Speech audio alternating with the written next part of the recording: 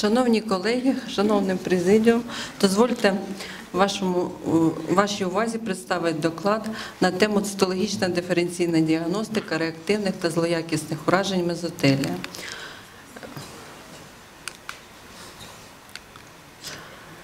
Мезотеліома це первинне ушкодження сирозних оболонок, е, досить рідке захворювання.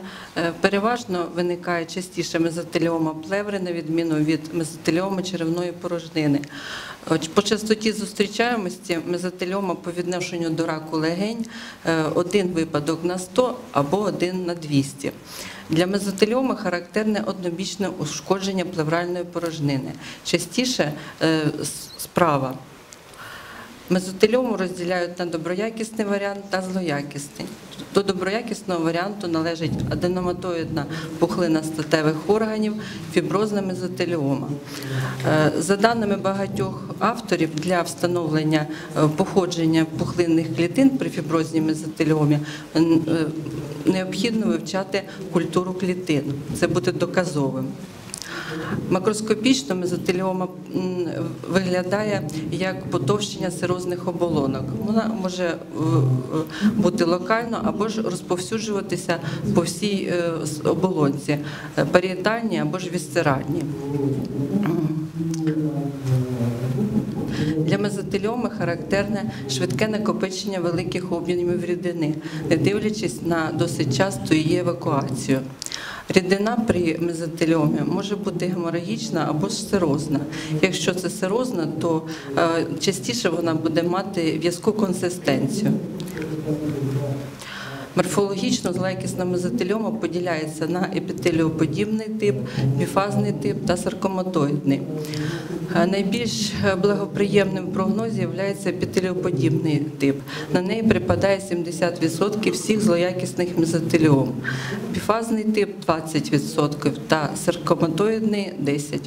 Діагноз злоякісної мезотеліоми можливо встановити з певністю лише при біфазному типі мезотеліоми, але саркоматоїдний компонент частіше відсутній. Напевно, це в результаті менш вираженого відлущування клітин в сирозну порожнину. Це стосується і саркоматоїдного типу злоякісної мезотеліоми. За даними е, міжнародної зацікавленої групи по вивченню діагностики мезотеліоми. Е, При біфазному, е, при типі мезотеліоми саркоматоїдний компонент повинен складати не менше 10%. Клітини мезотелія в реакції на різні стани в організмі можуть набувати різко виражені ознаки проліферації до атипії, що тим самим викликає у морфолога найбільші труднощі для правильної постановки діагноза. Така е, лабільність клітин мезотелію викликає найбільші труднощі при диференційній діагностиці між клітинами мезотеліоми та реактивним мезотелієм. Метою нашого дослідження було виявити диференційні цитогенетичні ознаки злоякісної мезотеліоми та реактивного мезотелія.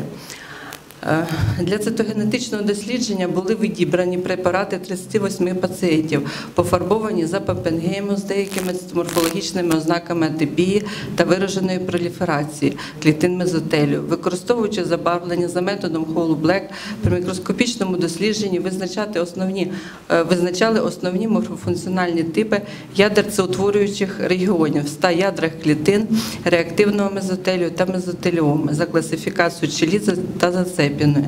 В кожній групі було по 19 хворих. Ем, При визначенні критеріїв злоякісності клітин мезотелію виявлено пропорційне збільшення числа компактних та нуклеонемних типів ядерцевих організаторів в залежності від ступеня е, ураження. Тобто, як ми можемо, бачити на цьому слайді, для мезотеліоми найбільш характерні були нуклеонемні та компактні типи ядерцевих організаторів, а для реактивного мезотелію кольцевидний тип ядерцевих організаторів та мікроядерця. Ці кількісні дані представлені на цій діаграмі та в таблиці.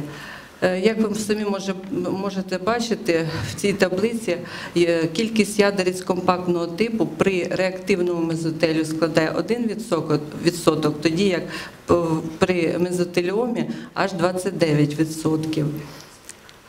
Е, Таким чином, для визначення характеру ураження мезотеліальних клітин використаний цитогенетичний метод виявлення морфункціональних типів ядрцевих організаторів хромосом, який дозволив ймовірно диференціювати клітини мезотеліоми, для яких характерне збільшення вмісту компактних ядерець 29% та нуклеонемних 36% в порівнянні з реактивним мезотелієм, для якого відповідно буде 1% компактних ядерець, а 26% нуклеонемних. Дякую за увагу.